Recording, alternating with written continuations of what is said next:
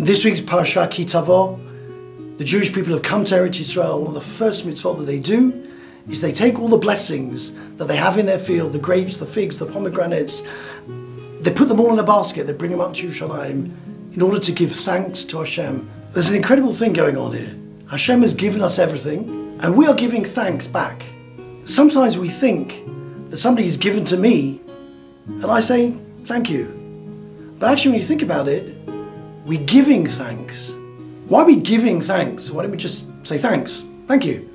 I think an answer can be is that actually when you give to somebody else, you're forming a relationship. Somebody gives something to me, I give thanks to them. I'm not just saying thanks, cheers, good one. I'm giving thanks because thanks is a relationship. It's like love, which is two way. If only one side loves and the other one doesn't, there's nothing there. Life is about give and take, but the take can also be give if you're giving thanks. So when a person gives to me and I give thanks to them, they're getting something back a real, genuine smile, a thank you note, an appreciation. And they want to give more. Give more to me, and I want to give more to them. And that's why giving really is a circle giving and taking, giving and taking, giving and taking, building a world of giving. The gift that keeps on giving. Quite a few years ago, uh, the world went through a big downturn. Everybody's business was doing badly. It happened to be actually I was in hospital. I was very unwell at the time, but I really wanted to. I wanted to give thanks. I wanted to express a deep thank you to people who had helped us out over many years and really made a difference.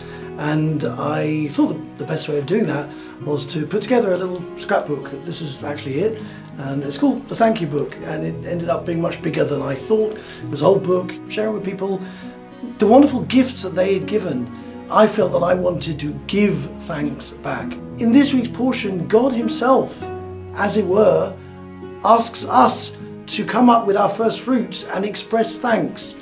When that expression is real, when we are telling what a difference it makes in our life, when we are relating our history, this is where we come from, this is where we've been, and this is how much we appreciate the fruit and the blessings that we have in life then we are forming a relationship with Hashem Himself. When we give thanks to people who help us, who give to us, then they're not just giving to an anonymous person. If it, whatever it is, money or time, just giving in goodbye. When we express thanks, we are building a relationship. Be great. Be a giver. Give thanks. Shabbat Shalom.